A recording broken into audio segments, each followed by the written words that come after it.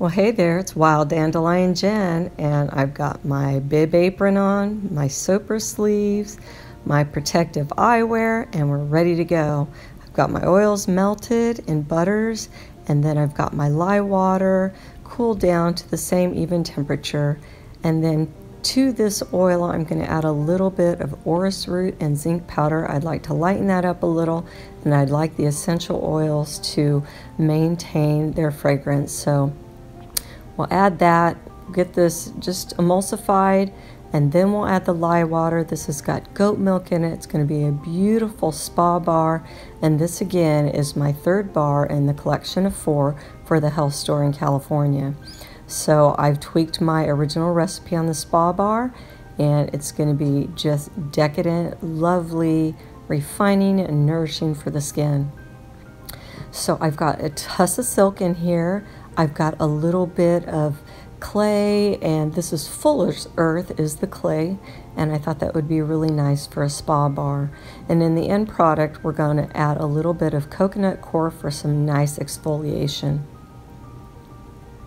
So we'll just get these blended and then I'm going to divide them off into three different batches and then we'll color those. There'll be four total. So we'll just divide these up.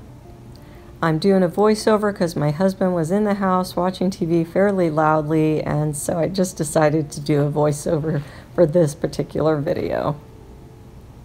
I try to do this when he's outside because it's distracting to hear the TV and a lot of rustling, so uh, this was the better way today for sure. So the powders that I have is some blue-green algae, And then I have some cacao powder.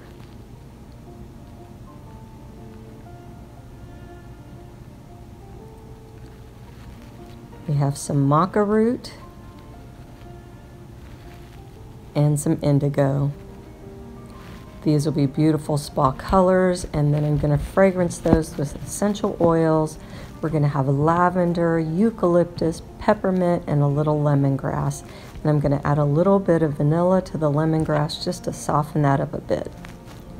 So we'll get all these powders mixed in, adding just a little bit more till I get the color that I really would like to have.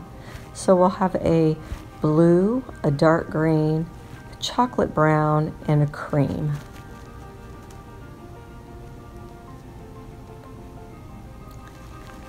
This will be a spa and a bathtub or shower for sure. And that's my Cocoa Core. That'll give a nice, soft, gentle exfoliation. Now we'll add the essential oils.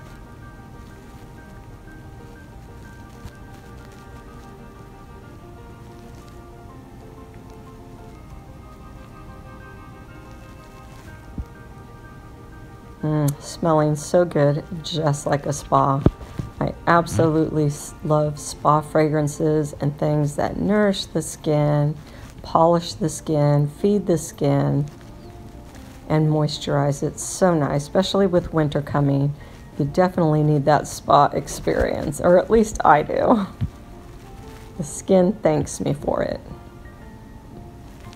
I'll get those blended in, and then I'm going to pour them all into one container so I have a nice little swirl and then I'm going to stick those in a massage, a massage finger spa bar mold.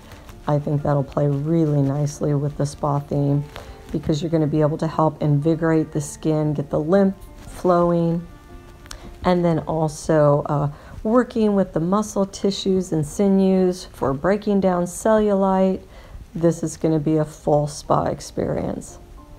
And I think the people in the desert are absolutely, absolutely going to love this. A spa experience is really big out there. There's a few hot spring spas and stuff down in Palm Springs, which is not too far. But hey, if you could go to the health store and grab your spa experience at a fraction of the price, why not? And then you can go home and enjoy that in your own bathtub or shower. There we go.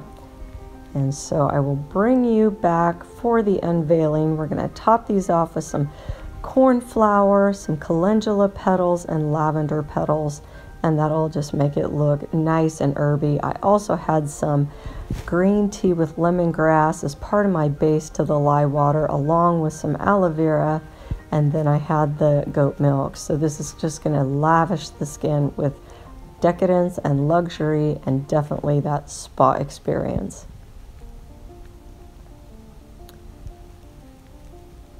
So I will top these off, spray them with a little bit of alcohol, and then I will unmold those and show you the finished product at the very end of the video. And I do have some spa bars on my website without the goat milk. They're vegan. And that you'll find at wilddandelionsoaps.com or Etsy, Rawkin Spirit, or Wild Dandelion Soaps LLC. So with that, God bless, make it a great day, and watch for the next video. It's something brand new. See, I tried to pop these spa bars out of the mold, and they were still a little bit soft on the finger side, so it didn't turn out so well. So I left them a couple more days. I just put these in the freezer for a little over an hour, a couple hours. So let's see if that did the trick.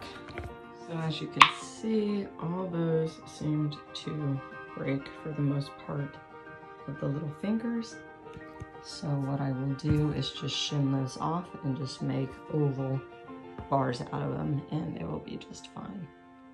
So we will save them and still be able to sell them just perfectly. I'll show you after I do the trimming.